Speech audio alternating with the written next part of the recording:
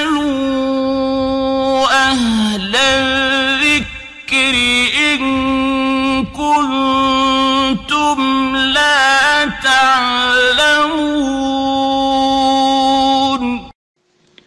ওয়ালাইকুম আসসালাম রহমতুল্লাহ বারাকাত জাদু বদনজর জেনের আসর থেকে বাঁচার কতিপয় উপায় রয়েছে যার মাধ্যমে আমরা আমাদের নিজেদেরকে ওইসব অনিষ্ট থেকে রক্ষা করতে পারি প্রথমত আল্লাহ সুবহান ওয়া তাআলার প্রতি তাওয়াক্কুল, অর্থাৎ সকল প্রকার বিপদ, আপদ থেকে বেঁচে থাকা এবং যাবতীয় উদ্দেশ্য পূরণের জন্য সবচেয়ে বড় মাধ্যম হলো আল্লাহ সুবহান ওয়া তাআলার প্রতি ভরসা বা তাওয়াক্কুল।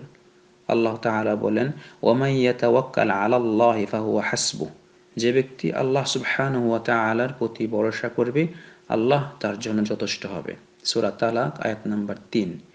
দ্বিতীয়ত হচ্ছে আল্লাহর আদেশসমূহ বাস্তবায়ন, আল্লাহ সুবহানাহু ওয়া তাআলার নিষেধ থেকে নিজেদেরকে দূরে রাখা। যে ব্যক্তি আল্লাহ সুবহানাহু ওয়া তাআলার আদেশ, নিষেধের হেফাজত করবে, সে অনুযায়ী নিজে চলবে, আল্লাহ তাকে দিন, দুনিয়া, পরিবার, সম্পদ সব দিক থেকে হেফাজত করবেন। রাসুল সাল্লাহ আলহি ওয়াসাল্লাম বলেছেন ইহফাদুল্লাহ ইয়াহফাবুক অর্থাৎ, তুমি আল্লাহর আদেশ, নিষেধ মেনে চলো, আল্লাহ তোমাকে হেফাজত করবেন। তিরমিজি তৃতীয়ত হচ্ছে মানুষের অধিকার সংরক্ষণ করা, অর্থাৎ নিজের কাছে কোনো মানুষের অধিকার থাকলে, কোনো মানুষের হক থাকলে সে হকটা ফিরিয়ে দেওয়া অথবা তার কাছ থেকে মাফ নিয়ে মাফ চেয়ে নেওয়া।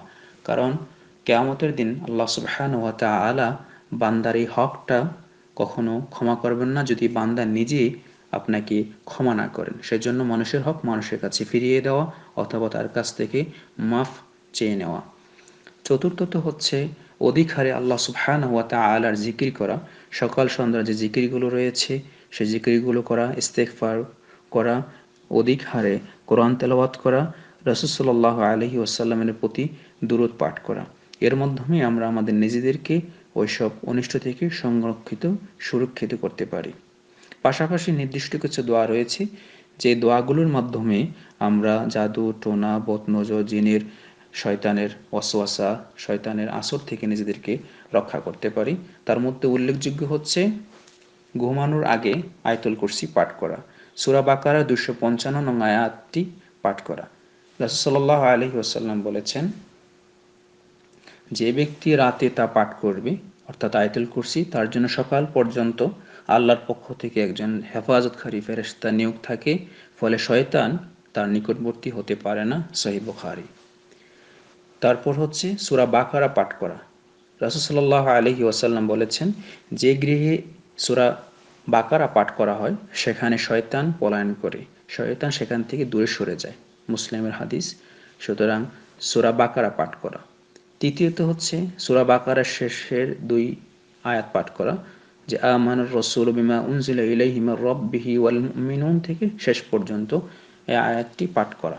যে ব্যক্তি প্রতি রাতে সুরা বাকারার শেষে দুটি আয়াত পাঠ করবে। তার জন্য এই দুইটি যথেষ্ট হবে। অর্থাৎ এই দুটি আয়াত যথেষ্ট হবে যে সকল প্রকার অনিষ্ট থেকে মুক্তি পাওয়ার জন্য এই সুরার এই দুটি আয়াতই যথেষ্ট হবে সহি বখারি। তারপর হচ্ছে সকাল সন্ধ্যা নির্দেশ যে দোয়াগুলো রয়েছে, ঘরে প্রবেশ করার সময়, ঘর থেকে বের হওয়ার সময়, কোথাও সফর করার সময় যে দোয়াগুলো রয়েছে সেই দোয়াগুলো সবসময় পড়া। তারপর হচ্ছে শিশুদেরকে জারফুক করা, যেমন রাসল্লাহ আলহি ওয়াসাল্লাম হাসান ও হাসান রাদি আল্লাহ তালুকে জারফুক করতেন। তিনি বলতেন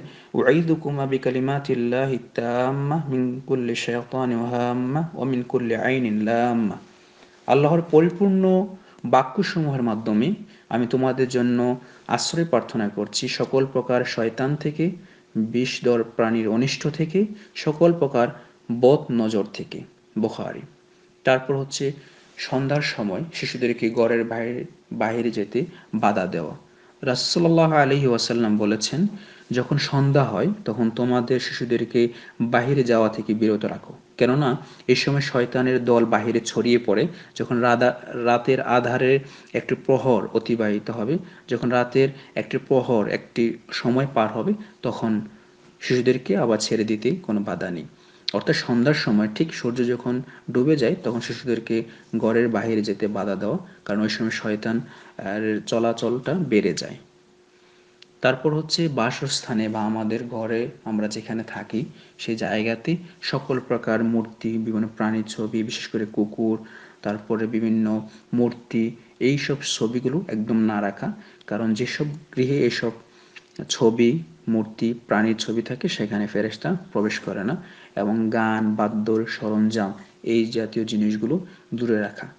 আশা করি আল্লাহ সুবহানাহু ওয়া তাআলা আমাদেরকে বদ, নজর, জিন, শয়তানের আসর থেকে রক্ষা করবেন। যদি আমরা আমাদের সকাল সন্ধ্যা যে জিকিরগুলো রয়েছে, আমি যে বিষয়গুলো বলেছি, সেগুলো যদি আমরা আমল করার চেষ্টা করি, আল্লাহ রাব্বুল আলামিন আমাদেরকে ওইসব প্রাণীর, জিন, শয়তান, মানুষের বদ, নজর, এইসব থেকে আমাদেরকে রক্ষা করবেন। والسلام عليكم ورحمة الله وبركاته.